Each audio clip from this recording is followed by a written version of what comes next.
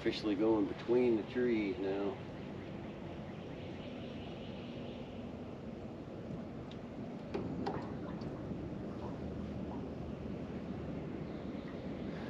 Check out the sun coming between the trees over here. That's a pretty awesome sight right there, guys. Foggy, creepy morning in a swamp.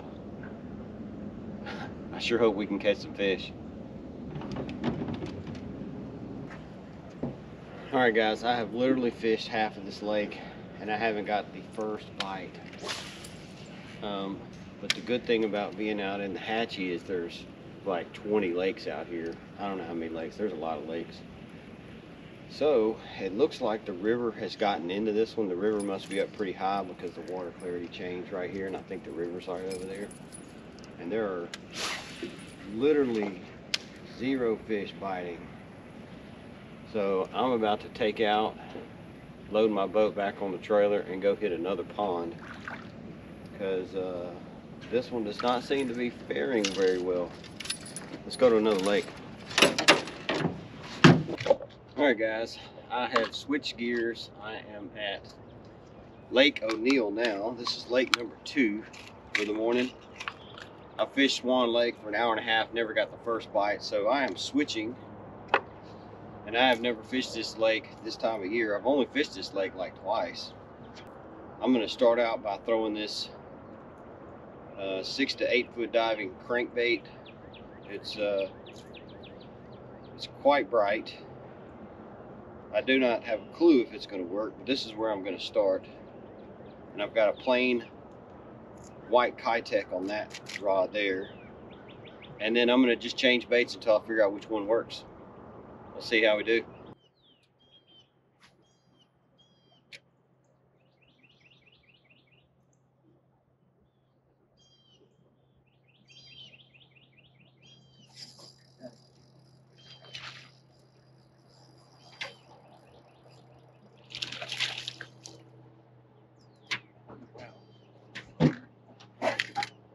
That is a chain pickerel.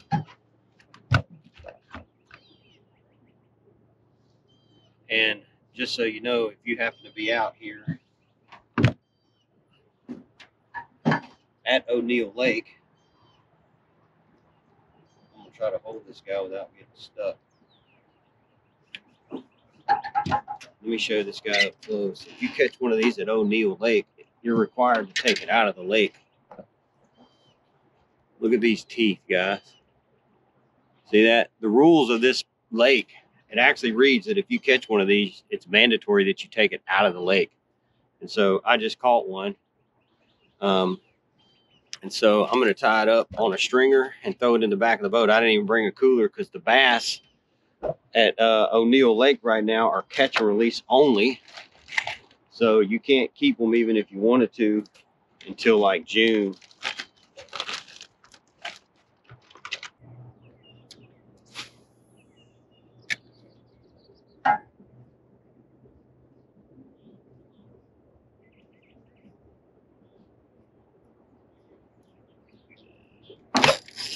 Got it.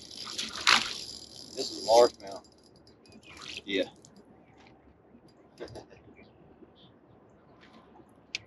Again, largemouth are all catch and release right now.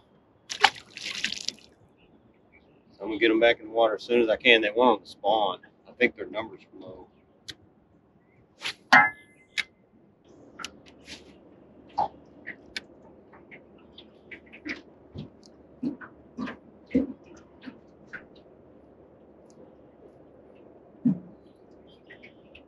Oh, got it. Hey, nice size fish too. Wow. Look at that dude. Dang.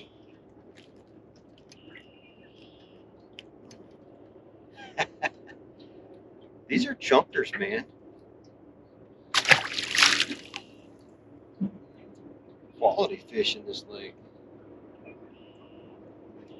I'm gonna get a new super fluke. They didn't beat that one to pieces.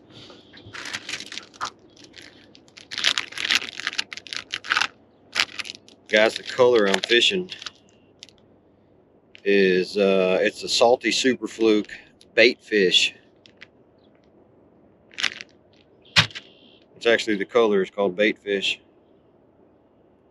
All right, do it again.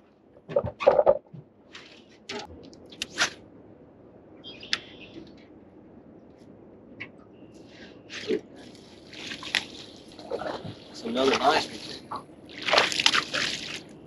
Not quite as big as the last two, but he'll do. Man, these bass are choking it too.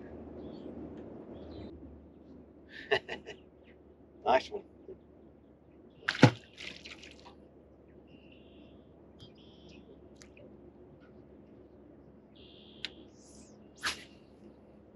Somewhere out here there was a creek channel. I can't tell if I'm still in it or not. I can see the bottom, but it's not very deep. Another chain pickerel. Look at that. I'm stacking these chain pickerels up today. I've had so many of them bite.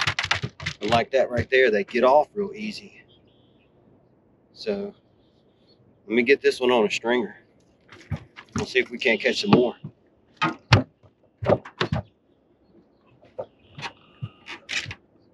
Let you see him up close.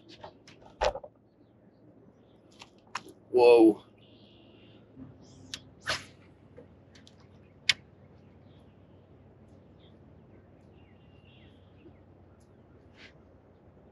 There he was. Ooh, that's a pickerel. Another one. This is a big one. Ooh, he came off in the boat. Look at that.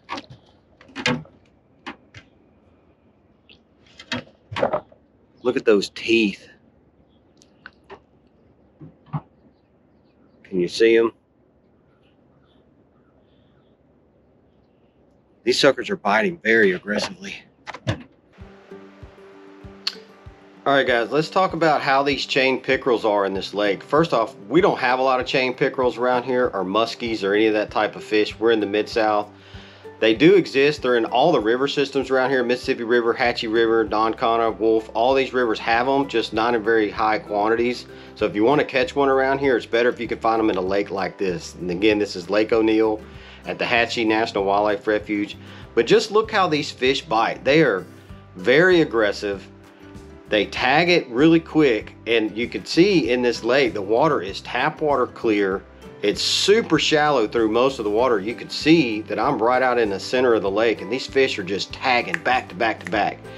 And they're biting this reaction style bait um, for its erratic motion. I'm throwing the Zoom Super Fluke out and I'm keeping it moving erratically through the water trying to get them to bite. Like right there, there's one sitting on the bottom that I just mouth hooked and I was trying to get him to bite. But most of the time I'm keeping it moving and these guys are very finicky and so you'll get one to chase it and they're just running up trying to get up to the bait and you'll see them right behind the bait just kind of lurking.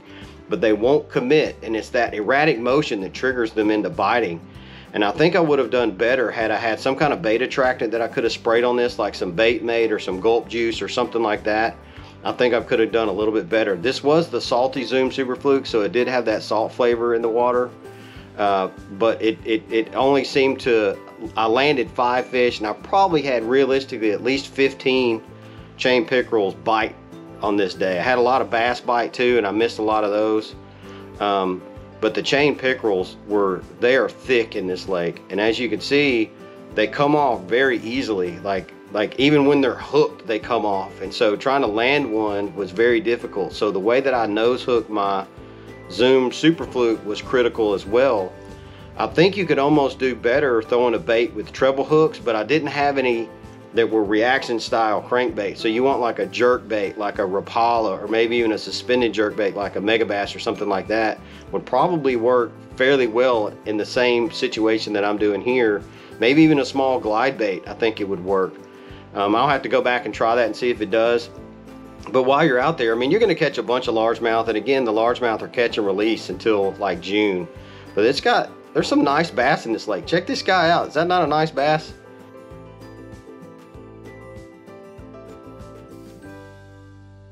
I thought he was a little bit bigger than that, but a little over two pounds he'll do.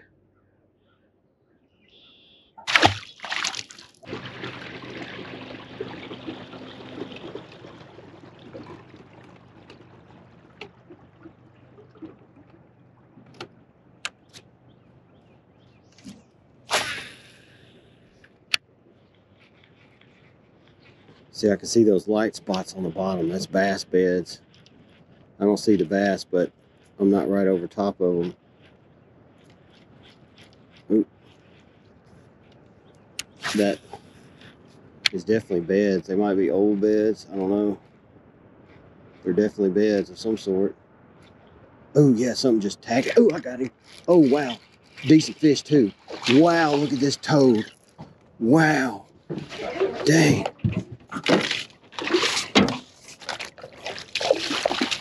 Wow. Dang. Caught that dude right in the bottom. Look at that dude. Holy crap. That's a nice fish. I told you those were bass beds out there. Let's let her go back. Ooh, there was a, I don't know if that was a turtle foot or a fish coming up.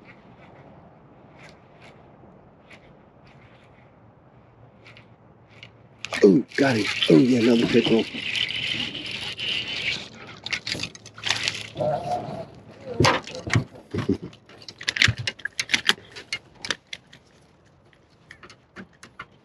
if he'll quit flopping, I can get him on.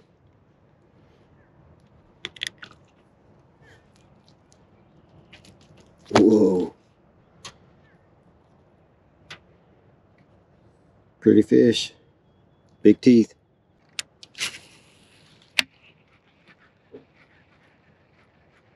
Oh, wow, there was a fish. Oh, dang, it's a bass, too. He was on that stump. He went that way. Dang. oh, wow. There's a big pickerel gar right there. Oh, that's a gar. I didn't think they had those in here. Probably catch one of those too.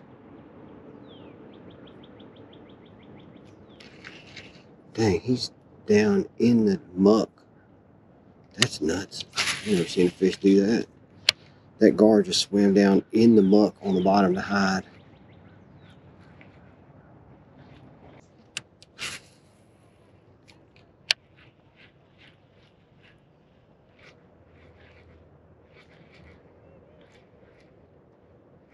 Oh, wow. Wow, that's a crappie. Dang. Are you kidding me?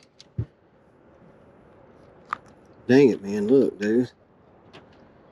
That is a big, fat black crappie. I would have never thought there'd have been one of them in here. Well, Turtle's trying to cross the road. Let's do a good deed for the day. Let's not let him get run over. I think he's trying to go over here. There you go. All right, guys, that's Lake Oneal. I'm out of here for the day.